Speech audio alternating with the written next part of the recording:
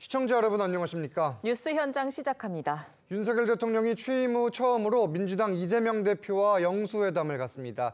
우선 시급한 민생 현안이 회담 테이블에 오를 전망인데 특검 등 예민한 내용이 오갈 수 있다는 관측도 나옵니다. 대통령실은 총리와 비서실장 인선은 영수회담과 무관하게 조금 더 시간을 가지고 생각을 해보겠다는 입장입니다. 조성호 기자의 보도입니다.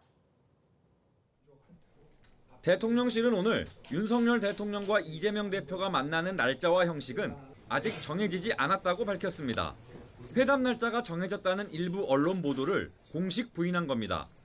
대화 의제도 다양하게 열어놓겠다는 입장인 것으로 알려졌습니다. 앞으로는 자주 만나 차도 마시고 식사도 하고 또 통화도 하면서 국정을 논의하자고 말했습니다.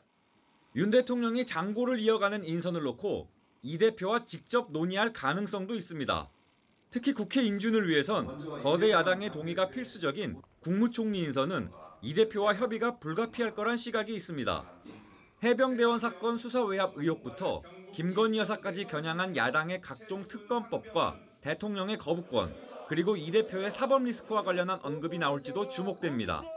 민주당이 제안한 1인당 25만 원의 민생회복 지원금을 포함한 15조 원 규모의 추경안 편성, 정부가 추진하는 의료개혁과 고물가 고금리 대응 방안 등도 주요 의제로 거론됩니다.